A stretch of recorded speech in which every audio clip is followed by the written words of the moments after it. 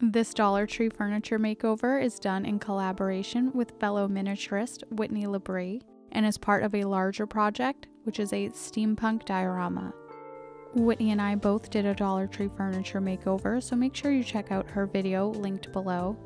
And next Thursday, we'll be releasing the steampunk diorama videos, which will feature our miniature tables. This was the humble beginning of my steampunk diorama, and I think the table is a bit too wide for the space, so I'm going to modify it so it has two drawers instead of three. I'm using my heat gun to soften the glue so I can disassemble the table. This is my favorite way of disassembling miniature furniture. I won't be using these legs, but I will be using the rest of the pieces to put the table back together. I used my miter shears to cut off one of the drawers, and now I need to make the back piece and the bottom piece the same width as the drawer front.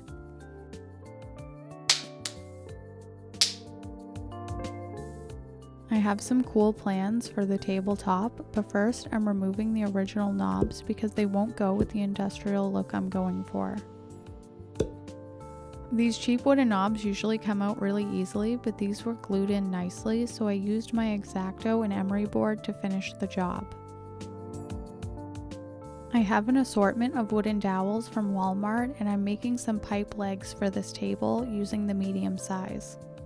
I'm marking some overhang on either side of each of the pipe legs and then cutting the tabletop to match the new drawer front and legs. Since I cut the ends off, now my ends are square, so I'm just going to use my emery board to give them a rounded look like the front of the table. Now the magic really begins. I am so happy with how this turns out. I'm giving the tabletop a leather look and that starts with mixing one part PVA glue with one part water.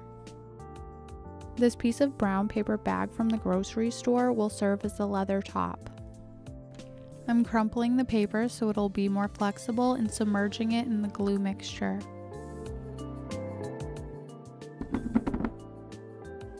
Wringing out the excess helps it dry faster and also gives it more character by creating more lines.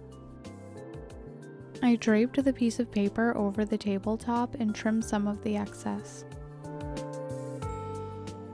Then I folded in the sides so the paper will dry wrapped around the edges and will look more natural when I glue it later. You can let it air dry, but I used my hair dryer to speed it along. Now the paper is dry and I can glue it down.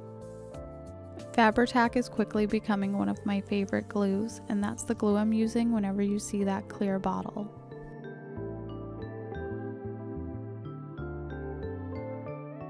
This has a nice suede color right now, but I want mine to be darker, so I'm starting with a layer of matte Mod Podge to seal the paper. The Mod Podge alone makes it look darker, but to make it look like aged leather, I'm using a small amount of brown paint on a brush and scrubbing it onto the surface of the paper.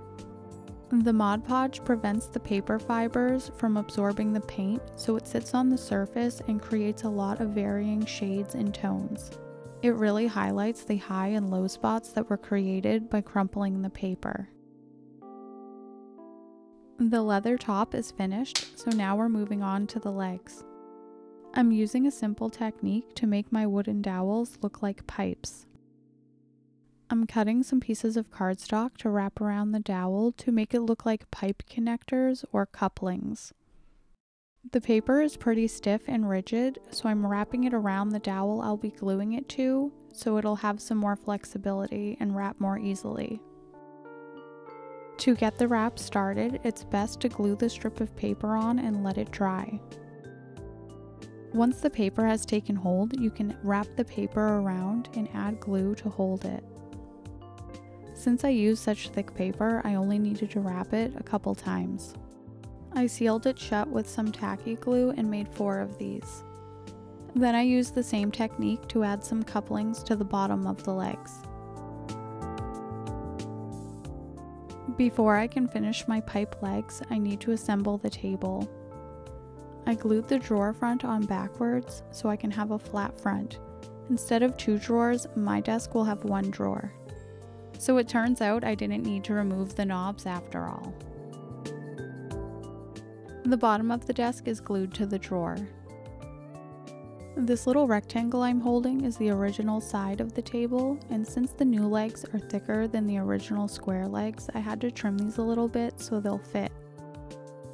To add some stability and more detail, I'm using a smaller dowel to create a pipe connecting the front and back legs. Then I added a pipe to the back of the desk. I used a spackle between the couplings to make the side pieces look like one piece of metal connecting the pipes. I want the table to look like it's made out of metal, so I'm using a thick bead of glue to make it look like welds on the front and the sides. I'm making the drawer that goes across the front with a piece of scrap cardstock. I have a little stash of simple drawer pulls and handles I designed in Tinkercad and printed on my 3D printer. In a recent video, I made a wardrobe closet out of a cell phone box and made very similar looking handles using a q-tip. I always add a black or gray base coat when I'm using silver paint because my paint is pretty see-through. And I also painted this Crimson Bond chair. Once I saw the pieces together, I thought the desk was too tall. So I took a risk and cut the legs and sanded them, and it was actually quite easy, and I like the new height a lot better. I made these panels for the steampunk diorama out of paper, and I think the brass tone matches the top too much, so I'm going with a silver palette for the base of this desk. The black base coat gives the silver an old tarnished look. I'm almost dry brushing this silver paint on because I want to retain some of the black base coat. To add additional interest, I just used a little bit of copper paint and added it sparingly.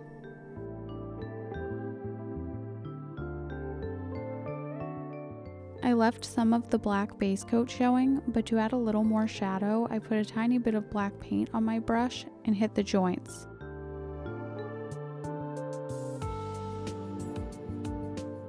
Now that the desk is all done, I need to turn my attention to the chair.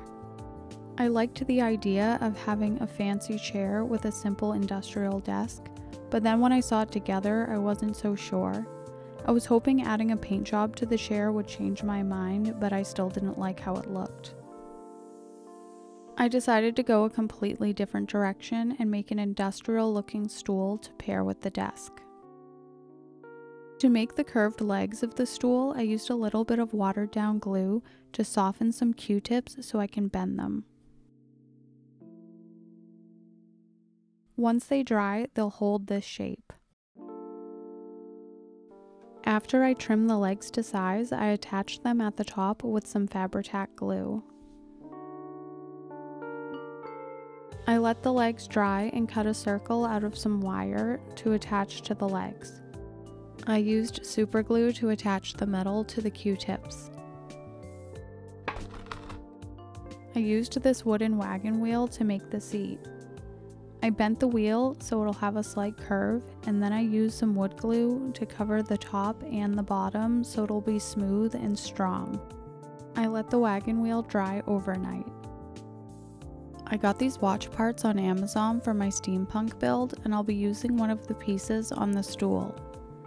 I glued one of these brass grommets to the stool.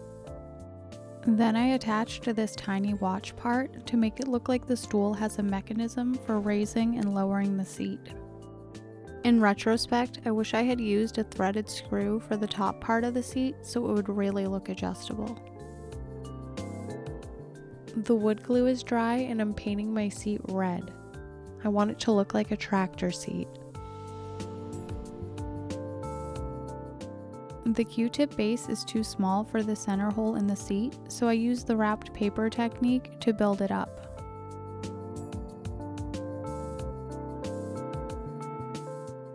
I'm adding little dabs of silver to make it look like the red paint has chipped away, revealing metal underneath.